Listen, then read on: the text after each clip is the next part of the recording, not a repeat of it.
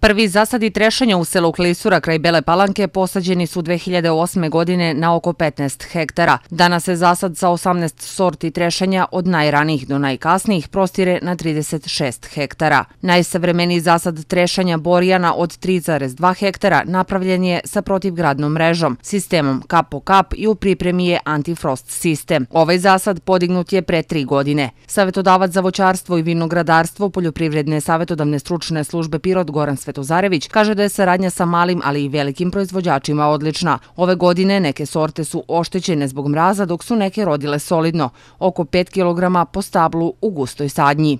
Mi kao poljoprivredna stručna i savjetodavna služba imamo izuzetnu saradnju sa njima, tako reći od formiranja tih prvih zasada, to je bilo 2008. godine. Ovaj, oni su među vremenu duplirali tu proizvodnju.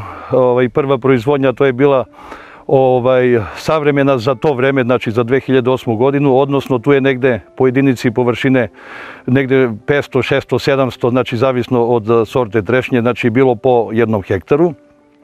Eh, podloga je bila magriva, to je generativna podloga, izuzetno dobra, razvijen korenov sistem i ona je znači, nešto malo srednje bujna podloga. Po stablu je smanjen prinos, ali po jedinici površine rod je udvostručen ili utrostručen. Kvalitet je daleko bolji, kaže Svetozarević, dodajući da je pre 30 do 40 godina po hektaru bilo 300 do 400 sadnica, a da je sada desestruko više. Kako su godine odmicale na plantaži Borjena, menjao se i način sadnje i održavanja trešanja.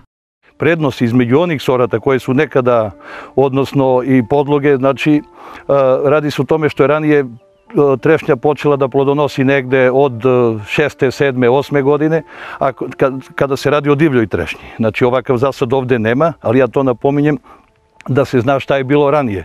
Овај први засад од овде кој е подигнут е на Магриви и отприлике негде четврта, пета година почиње да плодоноси мало боље и да буде мало та веќа родност, док на овие гизеле 5 и 6 od druge godine počinje plodonošenje, tako da čak u četvrtoj godini bude pun rod.